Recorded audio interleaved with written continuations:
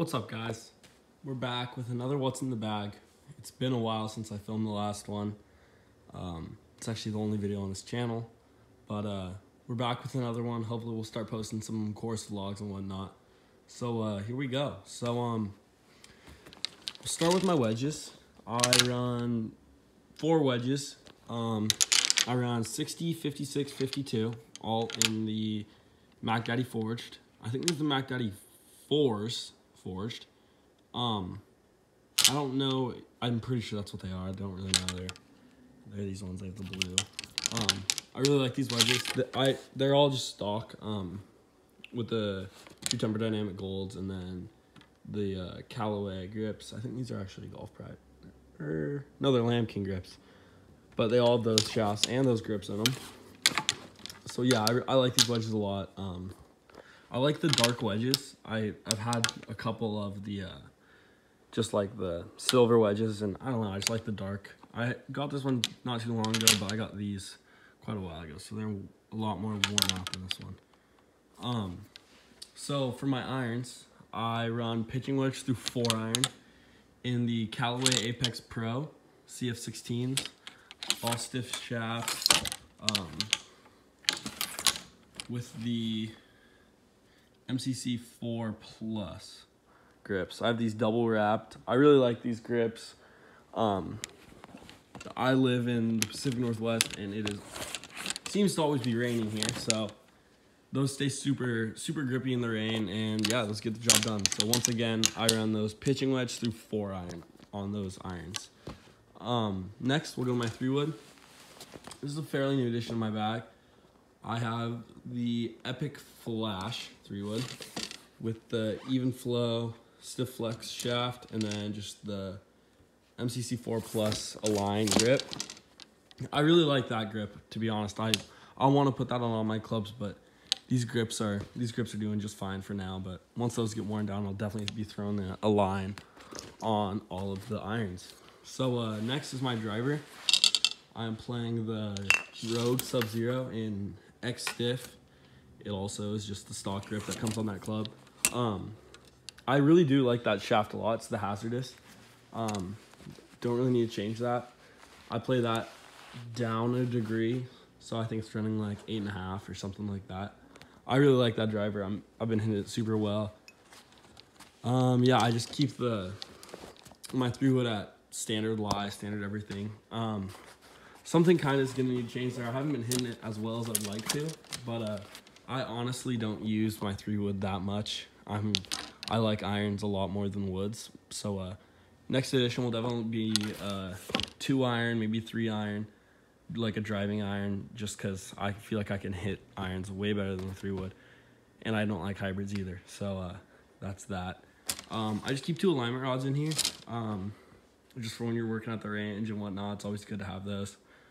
Uh, this towel I literally took from a hotel that I just got back from on a golf trip, and I just yeah snagged it. Um, my putter is the if I can get this cover off. Sorry, is the Scotty Cameron Select Newport two. It just has the 10 gram weights in it. Um, I really like this putter. I probably won't change this for a long, long time just because I, I'm super adjusted to that. And I just have, I don't like the Scotty Cameron head cover because it's Velcro and literally will always fall off the putter.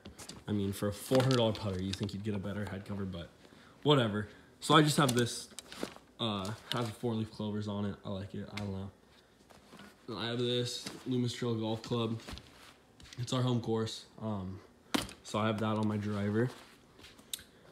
So yeah, that's it for clubs. Then we'll go into my actual bag. So uh, I just have a brush on the side. I don't. I usually take this off when I'm carrying my bag because it's always jiggling around. I don't know. It just makes me mad for some reason. And we just have these bag tags for my golf team. Um, yeah, I don't really know. It's like you kind of play for them each day, and then there's like 18 of them or something. Um, this pocket, I don't really keep anything in here. Uh, usually just like my phone, my wallet, my keys, whatnot. Just like a valuables pocket. Uh, right here, I just keep a sh black Sharpie. Um, in this big pocket, I don't know what's in here actually.